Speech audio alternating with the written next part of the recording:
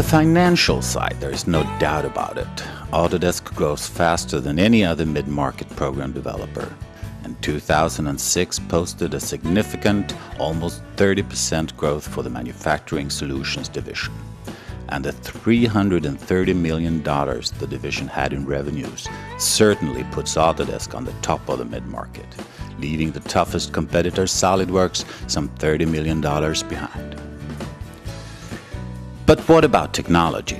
Well, when Autodesk had its European 2008 program version launch in London in mid February, the North European manager Mark Paraskeva talked a lot on integration and how Autodesk presently focuses on building in seamlessness in the product suite Inventor series. So, Mark, uh, which are the major enhancements when it comes to the product suite 2008 from Autodesk? Well, I think the big change that customers are seeing on the 2008 release is we're moving beyond kind of the basics of design and how the output looks and how it's generated. And really, we're trying to focus a lot more about how things work. So, really, what we're giving our customers is the possibility to experience that design before it gets turned into reality. Talk, uh, talk, a lot about integration, but not only into Autodesk products, also into other programs. Correct. So we've done a lot of work integrating the various products together uh, within the Autodesk family. But importantly, it's not just about connecting some of our 2D products and 3D products. We've we've gone a lot more. We've got a lot more capability in terms of our external interfaces to third-party tools as well. Yes, integration in focus, but not only in between the 3D components. Autodesk has a large 2D customer base, and with the new DWG TrueConnect, it gets even easier for the users to let product data flow in between AutoCAD and Inventor, and vice versa, of course. Which seems to be a good idea, since, for instance, electronics nowadays is an important part of the MCAD design process. Not to mention that this also might make it easier for 2D users to migrate to 3D. We still see a lot of companies moving over from 2D to 3D. Can that stream remain?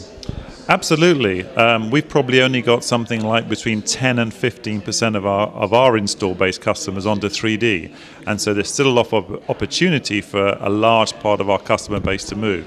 And really, it's all about having a richer model because the difference between a 2D model and a 3D model is once you have a model in 3D, you can do so much more with it. You can do so much more analysis, you can do so much more modeling, you can do so much more simulation. And again, back to what I first said, you can experience a lot more of the design before you build anything. On the subject, a richer model.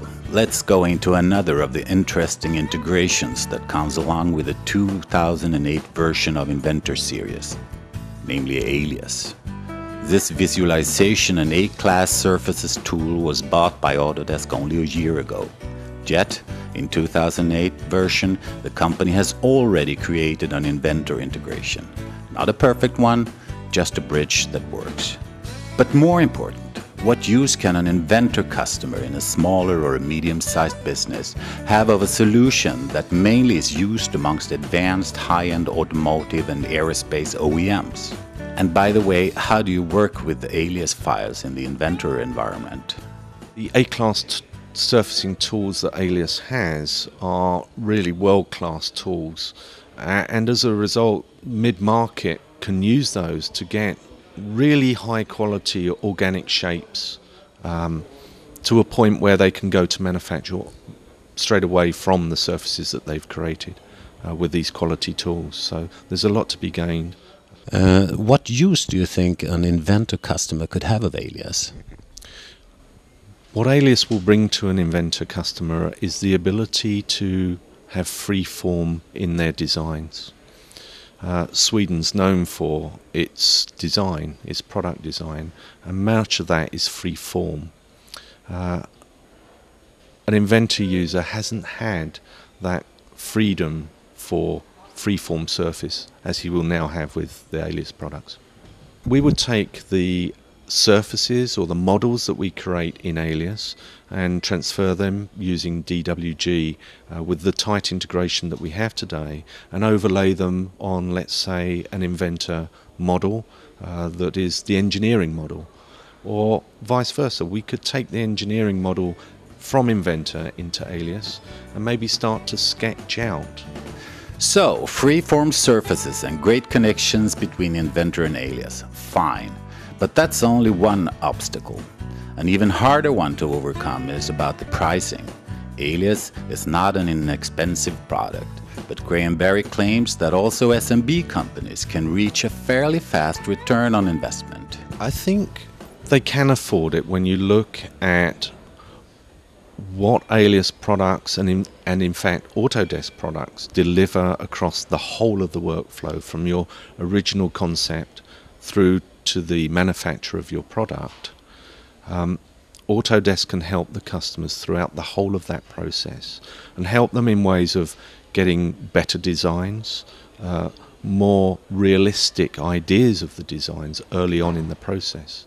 And that delivers the right product, probably ahead of schedule, which returns to the companies a lot more profit. But how will Autodesk take care and develop the traditional stock of customers in the high end area? That's another question. I think we've already seen in the year that Autodesk has had Alias that, that it's put more emphasis behind the products that we have.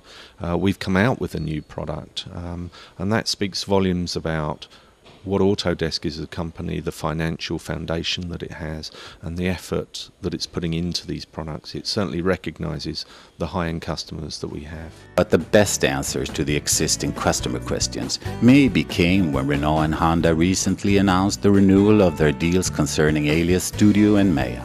Remains the challenge to persuade the SMB companies to add the Rolls Royce of surfaces to their product development processes which isn't the easiest thing in the world.